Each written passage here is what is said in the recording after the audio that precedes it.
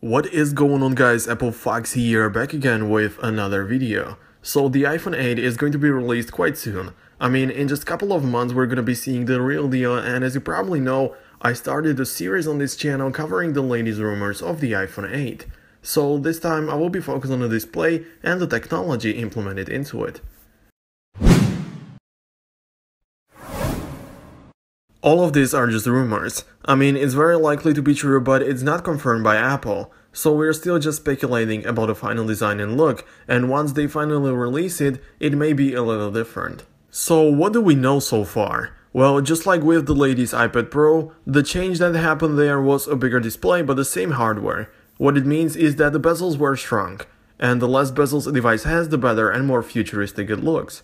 Now, the iPhone 8 is rumored to have no bezel, or very small bezel at least, so the entire front side will consist of the screen, and that way it will be a lot larger but the actual phone size stays the same. Similar thing happened when the 10.5 inch iPad Pro was released. But when the iPhone screen will be on the entire front panel, where will all of the things like FaceTime camera, speaker and the sensors be placed? Well, not the whole front panel will consist of display. And there is supposed to be a section on top of the iPhone 8 dedicated for this, but in a very cool way, meaning it won't be disturbing that much and it will look very clean. Many designers create their own ideas of how this will look like, and according to those concepts it's gonna be great. I absolutely love this design, it looks very sleek and modern, definitely not like something we have seen before. Now I just hope that this is the real deal.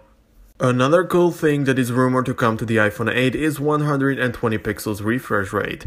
It's already part of the 10.5 inch iPad Pro that has just been published and if you don't know what it is, then it basically means smoother animations. So instead of the pixels being refreshed 60 times per second, we should be seeing a display with doubled amount of refreshes. So pretty much every animation gets smoother and more pleasing to look at. It's something similar when you set 60 frames per second on a camera. Compared to usual 30 frames per second, it's very smooth. And when you capture some movement with this frame rate, it looks a lot better. One concern I'm having with this is the battery life, because the smoother animations will naturally consume more battery.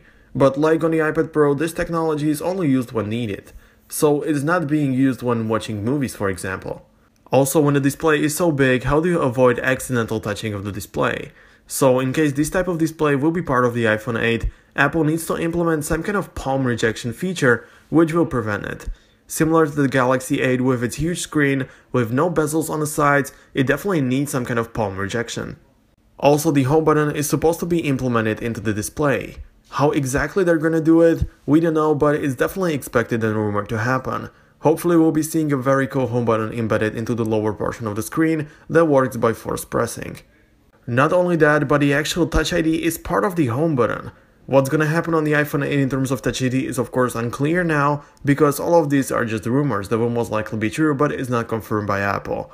I made a video specified on Touch ID on the iPhone 8, so make sure to check it out.